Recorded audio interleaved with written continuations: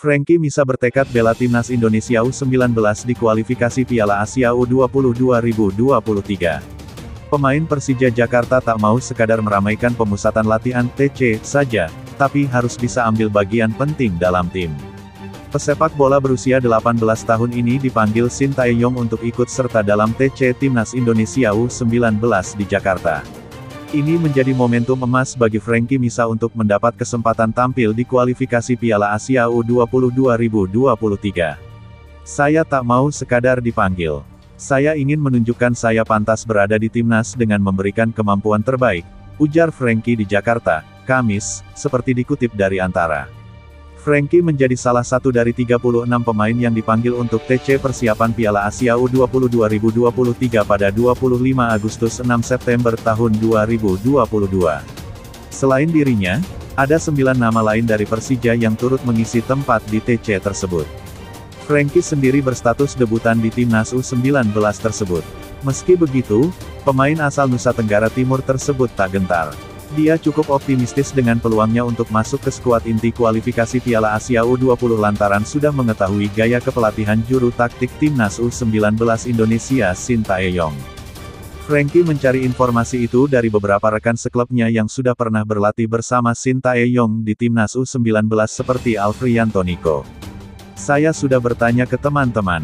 Sin banyak latihan fisik terutama di gym, pusat kebugaran Red untuk penguatan-penguatan, Tutur pria yang memperkuat Nusa Tenggara Timur di PON XX Papua itu, satu hal lain yang diketahuinya dari pemain Persija Jakarta yang berpengalaman dengan Sin adalah pelatih asal Korea Selatan itu memiliki metode latihan mirip dengan Thomas Doll sang pembesut Persija apalagi. Baik Sin dan Thomas Doll memiliki formasi favorit yang sama yakni bermain dengan tiga back. Di klub dan timnas tidak terlalu jauh berbeda latihannya. Formasi juga begitu. Jadi sudah punya bekal untuk mengikuti TC Timnas U19, kata Frankie. Adapun 10 pemain Persija di TC Timnas U19 terkini yaitu Agi Firmansyah, Ahmad Maulana Syarif, Dia Syahid Al-Hawari, Raihan Utina dan Teuku Raza Fahresi dari Akademi Persija, lalu sisanya Yairu Alfrianto Niko Saputro, Cahya Supriyadi, Frankie Deaner Misa, Ginanjar Wahyu dan Muhammad Ferrari dari tim utama. Namun, Persija Jakarta mengajukan permohonan agar lima nama dari tim utama, termasuk Frankie, diizinkan untuk menyusul bergabung dengan timnas U19 dan itu sudah disepakati oleh PSSI serta Shin Tae-yong. Dengan demikian, lima pemain dari tim akademi dipersilakan merapat ke TC sesuai jadwal, sementara lima sisanya yang berasal dari tim utama Persija akan dilepas pada tanggal 12 September tahun 2022 atau setelah laga Persija kontra Barito Putra pada Minggu, 11 per 9.